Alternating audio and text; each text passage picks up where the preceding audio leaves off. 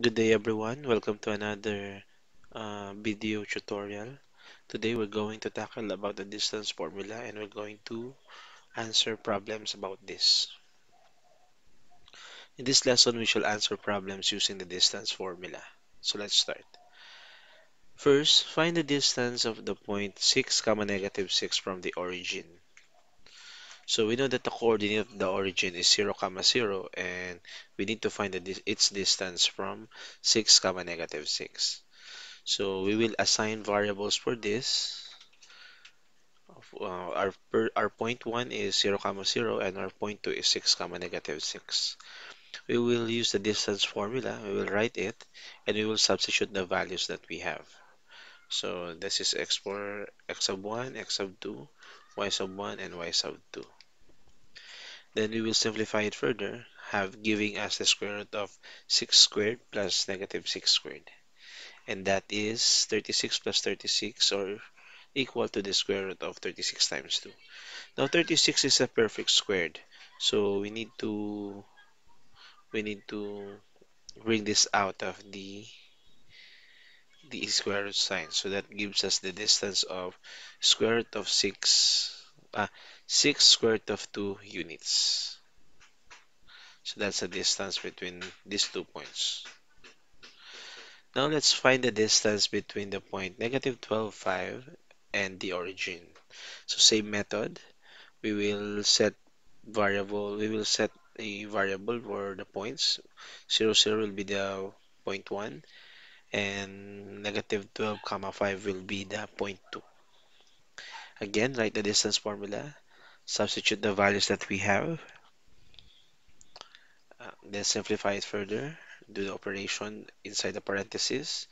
Now we have the square root of negative 12 squared plus 5 squared. So negative 12 squared is 144 and 5 squared is 20, 25. That gives us a square root of 169. Now the square root of 169 is 13. So therefore the distance between two points is equivalent to 13 units. Now find the length of a diameter of the circle whose endpoints are point A and point B. So we have point A and point B that, that is 14 comma 8 and 2 comma 3. Again, we will set a point value for this, a variable for this. Point 1 will be point A and point 2 will be point B. Write the distance formula. Substitute the values that we have simplify it further by doing the operation inside the parentheses.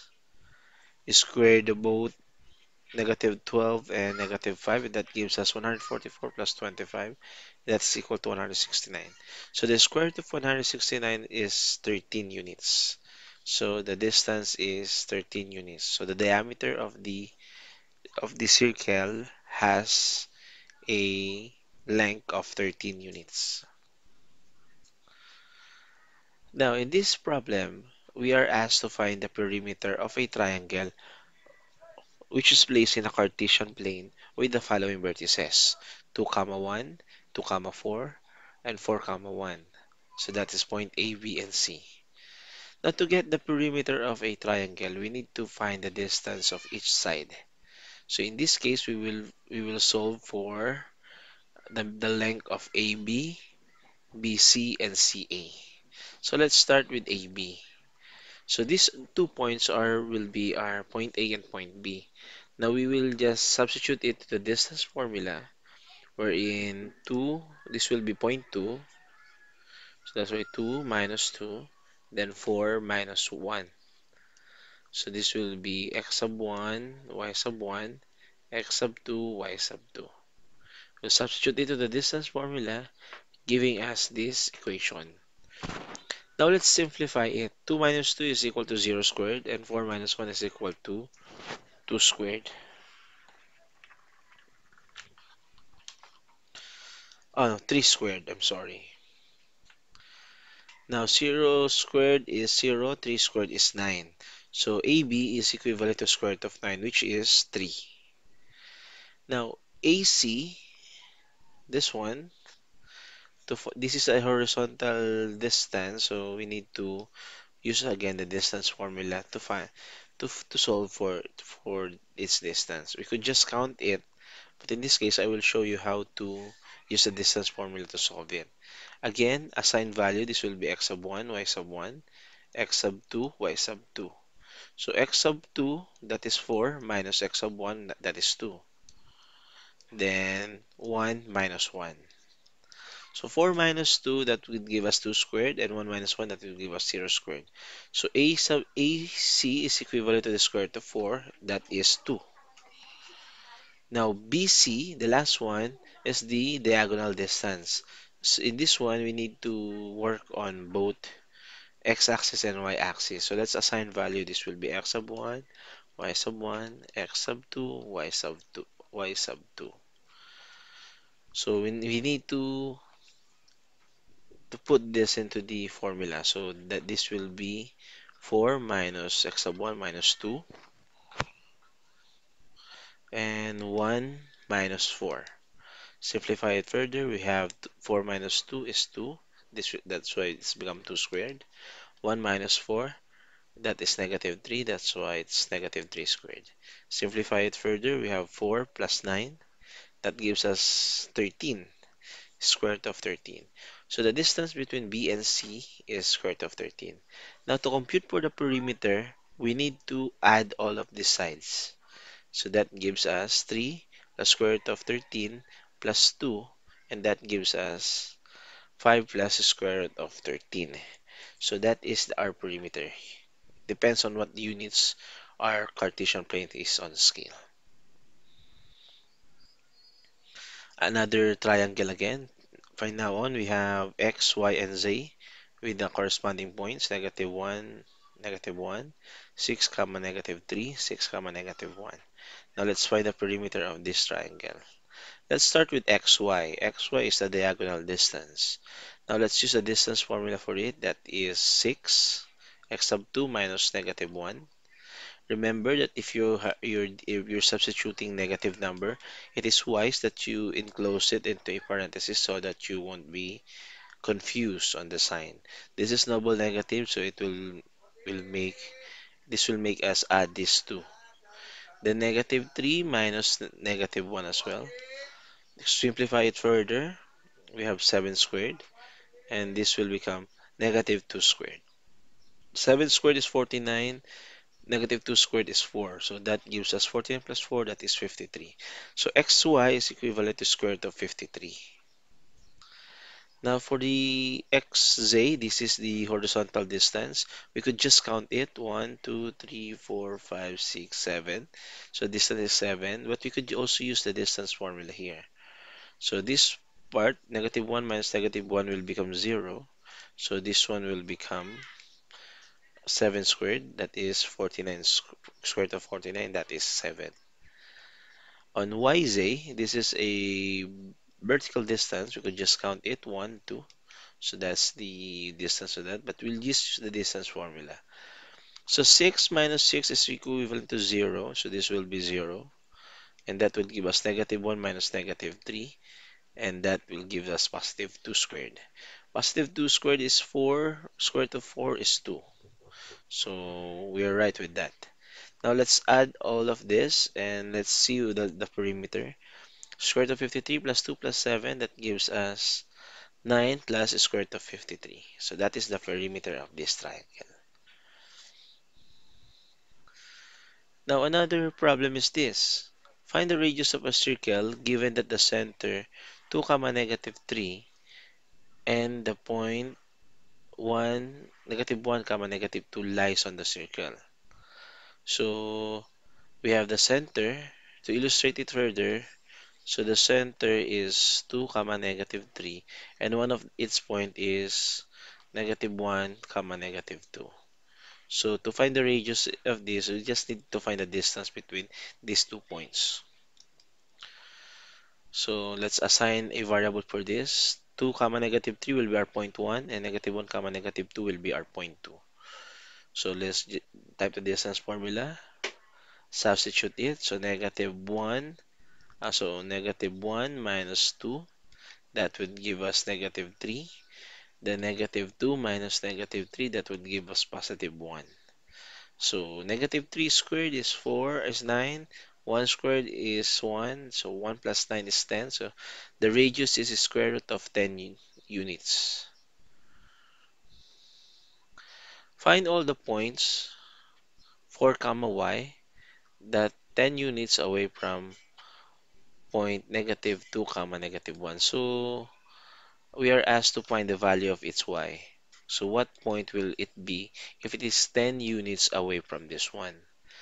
So again, just just like what we did a while ago, we just identify the points. And by this time, it has a given distance of 10 units. So this will be our point 1, and this will be our point 2. Now we will use a distance formula. The thing here is that if we substitute this, we have the value for our distance, that is 10 x sub 2 minus x sub 1 we have value it but we don't have value for y sub 1 that's why if we simplify it further we can see that negative 2 minus 4 is negative 6 squared and this will stay the same. Now let's simplify it further by squaring negative 6 that is 36 now here's the thing. If we're going to find y we need to eliminate this squared sign. Now to eliminate that all we need to do is to square both sides so that it will be cancelled out.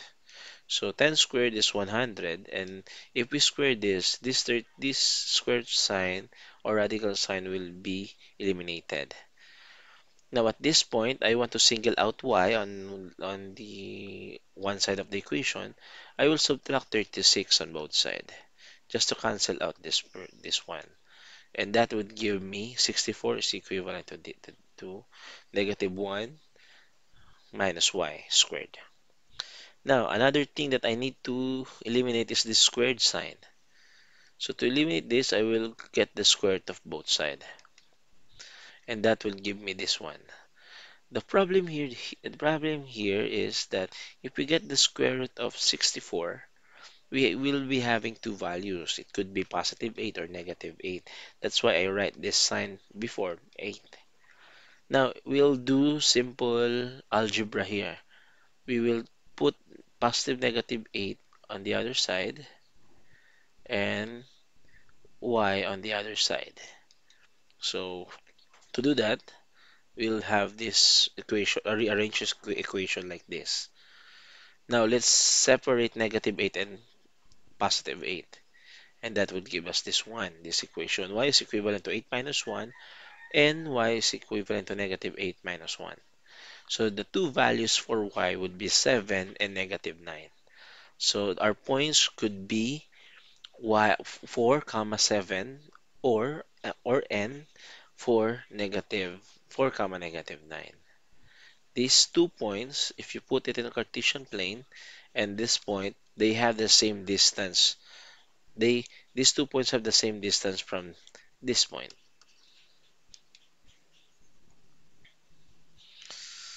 Okay, if the distance between two points is 5, find the value of A.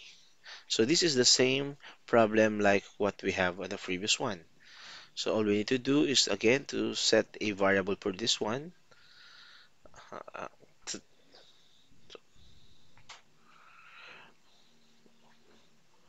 Substitute all the given.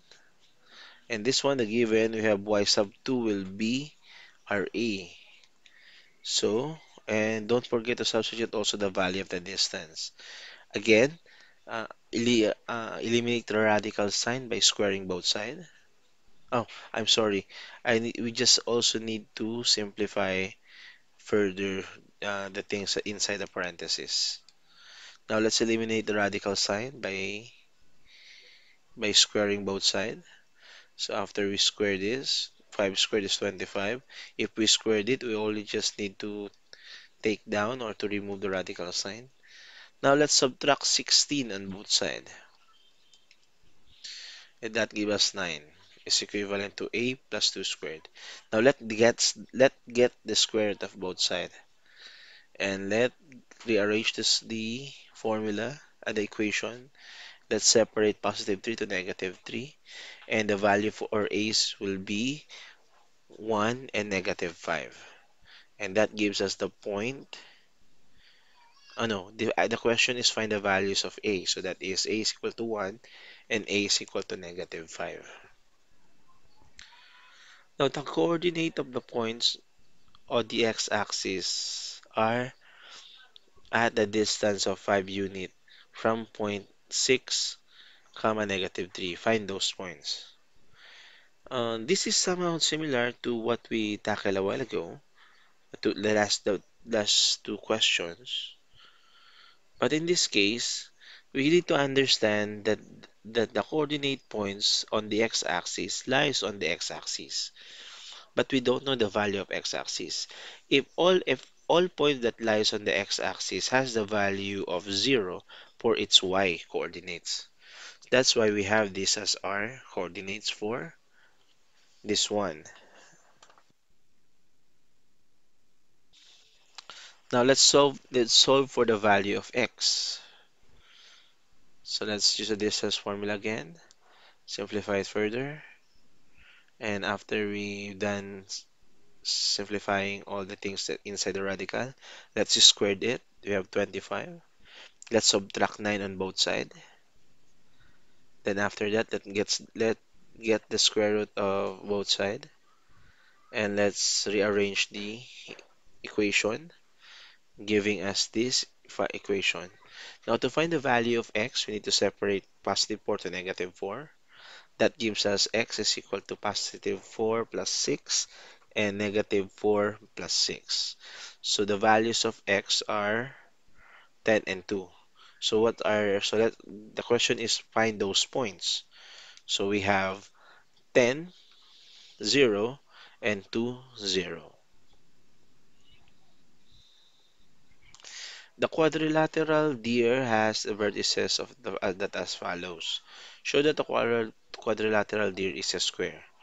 Now to show if it is a square, we need to check if the if the, the distance of this quadrilateral are the same because that's the definition of square. It should have an equidistance and it should have square should have four 90 degrees corner and four sides that are equal. And for this part, all we uh, we can use a distance formula to to check if all sides are equal. So let's do that. Upon using the distance formula, we can see that this square, the side of this quadrilateral has 2 square root of 2 on all sides. So this is now that this is what we can do for now using the distance formula. But in order for us to prove that this is a that this is a square, we need also to apply the slope formula, slope formula in com in comparison, in comparing two lines. Because that in that way we can prove that these two lines are perpendicular to each other, or the pairs of lines are perpendicular to each other. But we will not do this. We, we will not do it here. So watch out for my next video on how to how to use a slope formula in proving some geometric properties on coordinate planes. So all sides are equal, so this is our this is square.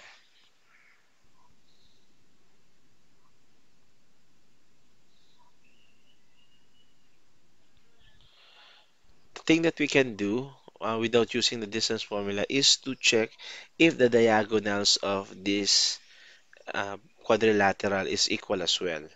So upon checking, upon using the distance formula to, to get the distance of all diagonal diagonals, we can say that this quadrilaterals has unequal diagonals. Therefore, the quadrilateral DER is a square. So that's all the problem we could, that we tackled in this tutorial. Again, thank you for watching this and I hope that you see my next video on midpoint formula. So goodbye for now and thank you for watching.